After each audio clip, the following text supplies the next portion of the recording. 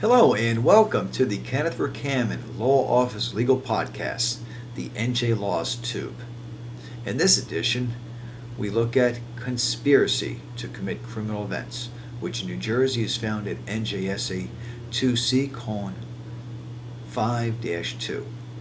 Conspiracy is defined as a person's guilty conspiracy with the purpose where with another person or persons um, to commit a crime if with the purpose of promoting or facilitating its commission they one either agrees with such other person or persons that they or one or more of them will engage in such conduct which constitutes such crime or an attempt or solicitation to commit such crime or two agrees to aid such other person or persons in the plan or commission of such crime or of an attempt or solicitation to commit such crime, and B, the scope of the conspiratorial relationship.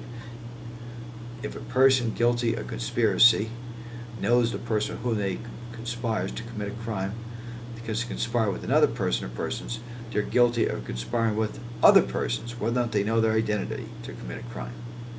And C, conspiracy with multiple objectives. A person conspires to commit a number of crimes. If they try to do that, they're guilty of only one conspiracy as long as such multiple crimes are the object of the same agreement or continuous conspiratorial relationship. Under the rules in New Jersey, there are certain defenses to a charge of conspiracy.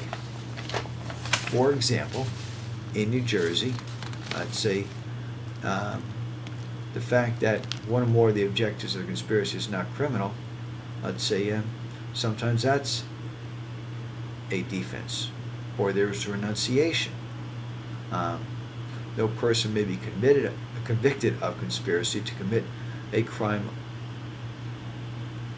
other than that of a first or second degree or distribution or possession with intent to distribute unless an overt act in pursuit of such conspiracy is proved, proved to have been done by him or by a person with whom he conspired.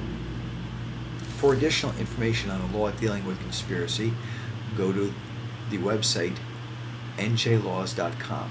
That's njlaws.com. Also, website benotguilty.com. That's be not guilty.com. For representation, contact the Law Office of Kenneth Vercammen, 732-572-0500.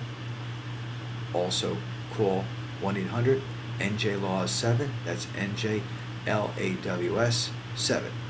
They're at 2053 Woodbridge Avenue, Edison, New Jersey, 08817. Thank you and good luck.